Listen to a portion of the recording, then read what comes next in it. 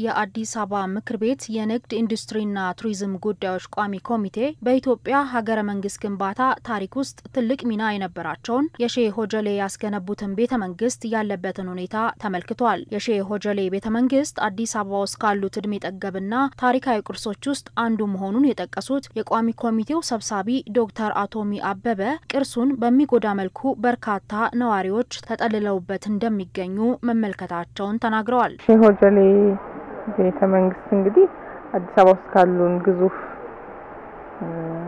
ቅርሶች ውስጥ አንዱ ነው።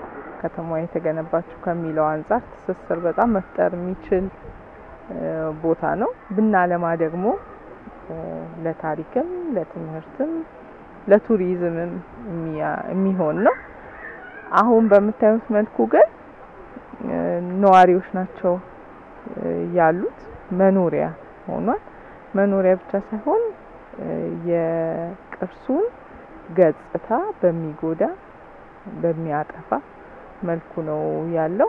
የአዲስ አበባ ባህል ኪነ ጥበብና ቱሪዝም ቢሮ ኃላፊ ዶክተር ሂሩት ካሳው ቅርሱ በሕገ ወጥ መንገድ ለመኖሪያነት እየዋለ መሆኑ ለሕልውናው አስጊ ስለመሆኑ አክለዋል። ያለው ሰው ሞቶ ሙሉ የሆነ ልማት ይፈልጋል። ይሄን ለማልማት ትልቅ ሜጋ ፕሮጀክት ያስፈልገዋል። ስለዚህ መጀመሪያ ሰዎቹን እንግዲህ እያነጋገርን ነው ቆይተናል። ማነጋገር ከጀመርን ውስጥ ያለው ሰው በጣም ብዙ ስለሆነ ማውጣት አልተቻለም። በሜጋ ፕሮጀክት ታቅፎ እንደ ገበታ ትውልድ አይነት ፕሮጀክት ተቀርጾለት በዛ አግባብ እዚህ ውስጥ ያለው ህዝብ ካልወጣ ቅርሱንም ለማልማት አስቸጋሪ ነው። የራሱ የሆነ ለየት ያለ ማለት ነው። አዲስ አበባ ውስጥ በጣም ብዙ መስህቦች አሉን። ይሄ ደግሞ አንድ ራሱን የቻለ አንድ ራሱን የቻለ መስህብ በመሆን ለቱሪስት ታሪክን ከመጠበቅ ለትውልድ ከማስተማር በላይ ደግሞ ትልቅ ኢኮኖሚያዊ ፋይዳ ያለው ቤተ መንግስት ነው።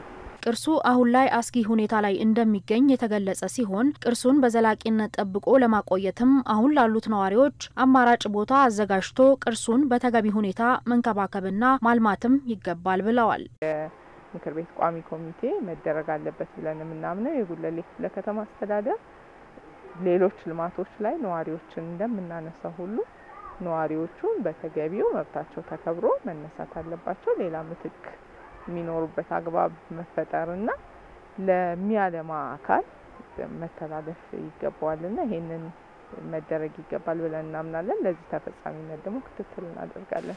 ሼህ ሆጀሌ ገናና ታሪክ እንዳላቸውና ለሀገር ውድ ዋጋ መክፈላቸውን ያወሱት የሼህ ሆጀሌ የልጅ ልጅ ዶክተር ነስረዲን ኢብራሂም በቀጣይ ከሚመለከታቸው አካላት ጋር በመተባበር ቅርሱን በበለጠ ለሀገር ሀብት በሚሆን ደረጃ ላይ ለማድረስ መጠበቅ እንደሚገባ ተናግረዋል። የአዲስ አበባ መስተዳደር ባህልና ቱሪዝምና የሚመለከታቸው አካላት መጥቶ የቤቱ እድሳት ላይ ከኛ ጋር ውይይት አድርጓል። ይሄ በጣም አስደስቶናል።